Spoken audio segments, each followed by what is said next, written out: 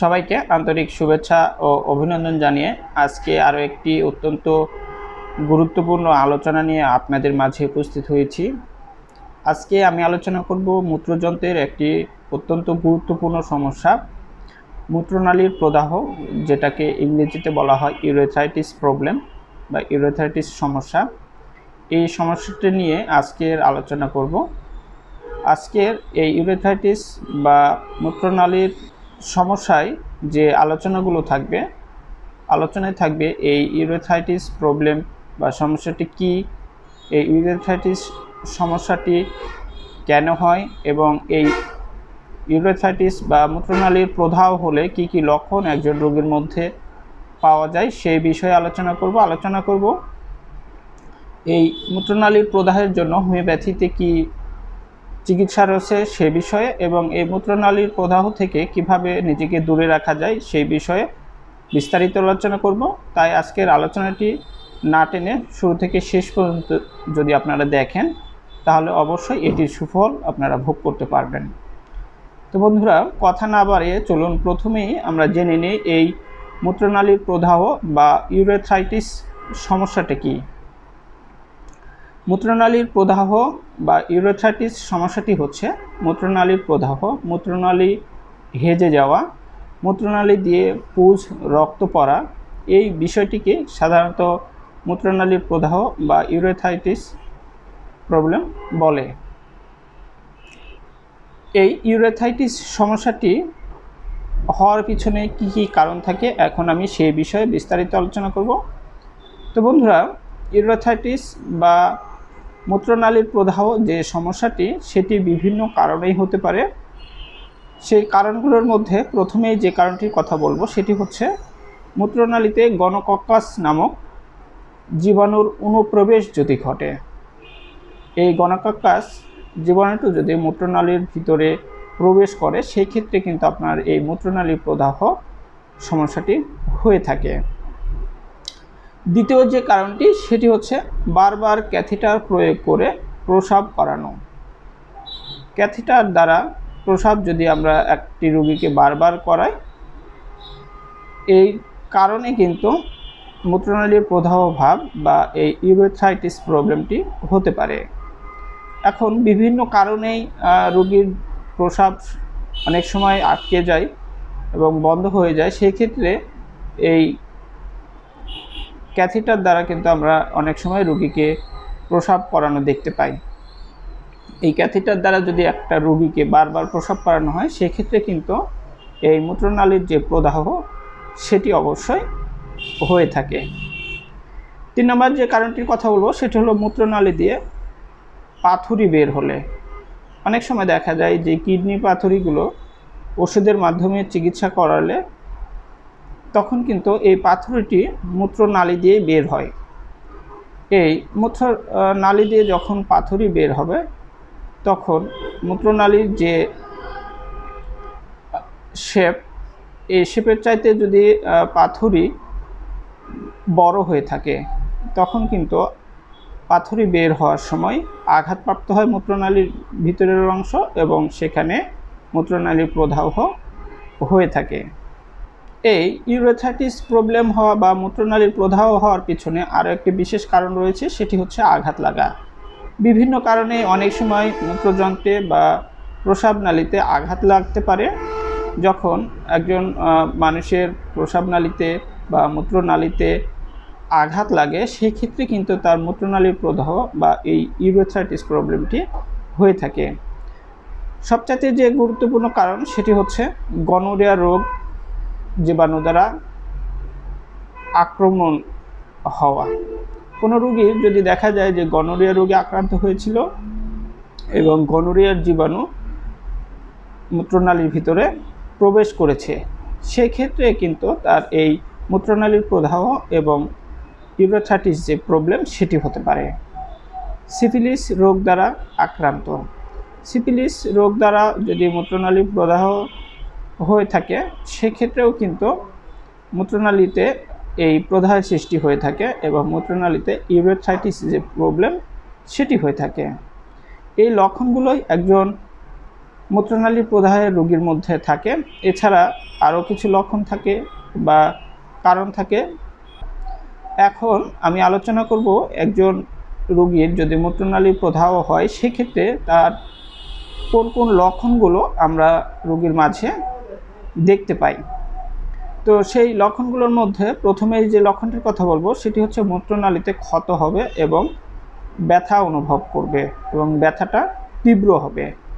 স্বাভাবিকভাবে যখন মূত্রনালীতে ক্ষত হবে, তখন ব্যথা হবে, এটি স্বাভাবিক বিষয়। তো এই লক্ষণটি কিন্তু একজন মূত্রনালীর প্রদাহের রোগীর মধ্যে আমরা অবশ্যই দেখতে পাবো।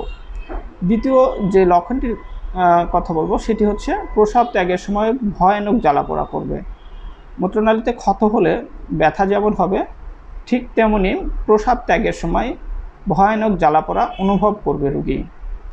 রুগীর প্রসাবের সাথে পুজ রক্ত বের হবে। যদি একজন রুগীর মূত্রনালীর প্রদাহ সমস্যাটি হয়ে যায়, সেক্ষেত্রে প্রসাবের সাথে তার পুজ রক্ত বের হয়ে থাকে। মূত্রনালীর মুখে কটকট করে চুলকানি এবং ঘন ঘন প্রসাবের বেগ, কিন্তু সামান্য প্রসাব হয়। দেখা যাচ্ছে, মূত্রনালীর মুখে যদি কটকট করে চুলকানি অনুভব হয় এবং ঘন ঘন প্রসাবের বেগ আসছে, কিন্তু সামান্য প্রসাব হচ্ছে।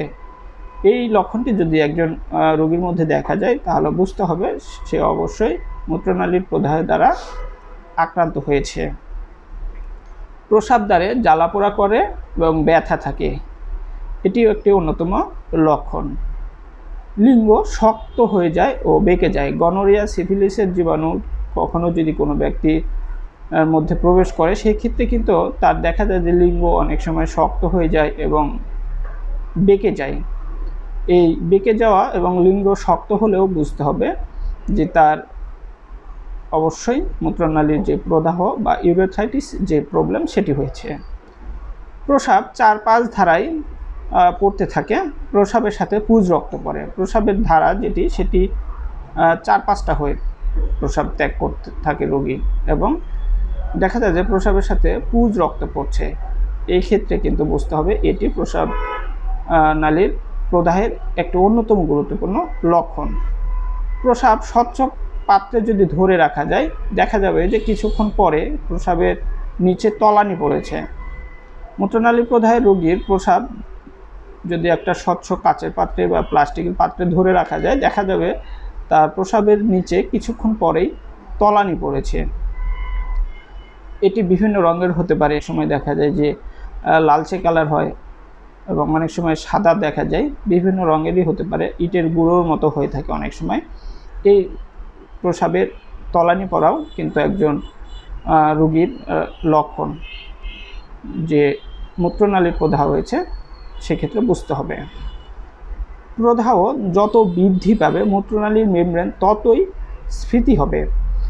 এর ফলে প্রসাবকালের যন্ত্রণা আরও বেশি হবে।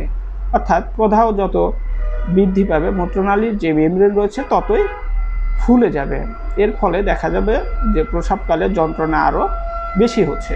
এই লক্ষণটি একজন মূত্রনালীর প্রদাহের রোগীর মধ্যে অবশ্যই থাকে। এই লক্ষণগুলো যদি কোনো রুগীর মধ্যে আমরা পাই, তাহলে বুঝতে হবে অবশ্যই সেই রুগী মূত্রনালীর প্রদাহ বা এই ইউরোথাইটিস প্রবলেম দ্বারা আক্রান্ত।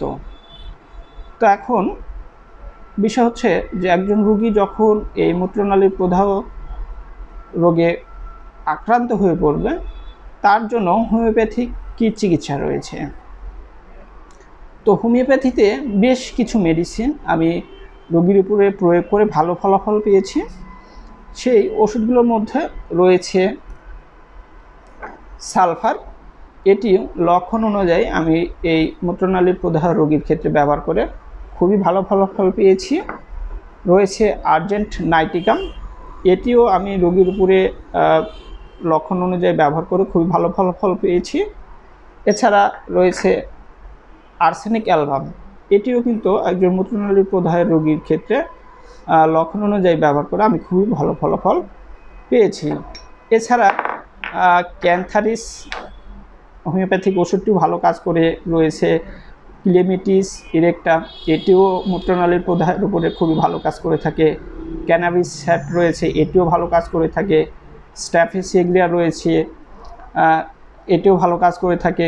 এছাড়া মেডোরিনাম এবং সিফিলিনাম। এই ওষুধগুলো আমি লক্ষণ অনুযায়ী রোগীর উপরে প্রয়োগ করে খুবই ভালো ফলাফল পেয়েছি। এছাড়া আমি কিছু বায়োকেমিক ওষুধ ব্যবহার করেও খুবই ভালো ফলাফল পেয়েছি। তার মধ্যে রয়েছে ন্যাট্রামিউর। এই ন্যাট্রামিউর বায়োকেমিক ওষুধটিও কিন্তু আমি রুগীকে ব্যবহার করে খুব ভালো ফল ফল পেয়েছি লক্ষণ অনুযায়ী। এছাড়া ক্যালিফসফরিকাম, এটিও লক্ষণ অনুযায়ী ব্যবহার করে ভালো ফলাফল পেয়েছি। এছাড়া রয়েছে ফেরাম, ফসফরিকাম। এটিও কিন্তু আমি রুগীকে ব্যবহার করে খুবই ভালো ফলাফল পেয়েছি। তবে অবশ্যই লক্ষণ অনুযায়ী ওষুধগুলো ব্যবহার করতে হবে।